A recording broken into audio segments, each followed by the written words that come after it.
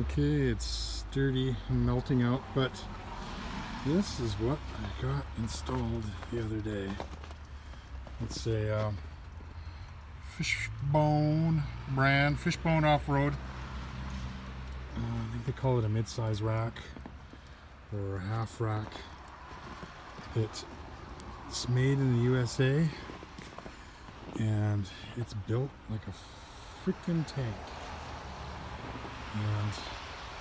the packaging it came in was absolutely it was crazy man. I think it it actually took longer to unpack it than it did to install it.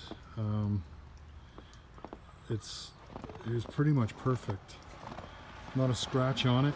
When we got it everything fit.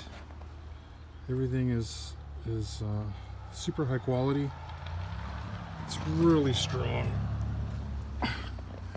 It's not moving at all. And still haven't decided yet if I'm going to do the rooftop tent. Pretty sure I'm going to go that route. But all in all,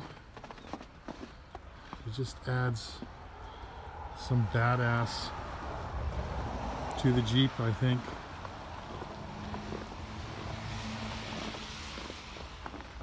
It's kind of mounts in there.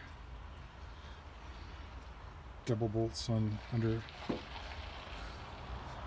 each frame here. The side panels came free with it. Everything's all included. And they gave you a bunch of extra bolts and that for uh, accessories later on. We're kind of wondering why there's so many extra parts. I'm interested to see what the accessories are going to be in the future. But there she is. Yeah. Starting to take shape. But I think the rack is a must. Especially for all the gear that I end up carrying when I go out into the bush camping, fishing and stuff like that. Okay.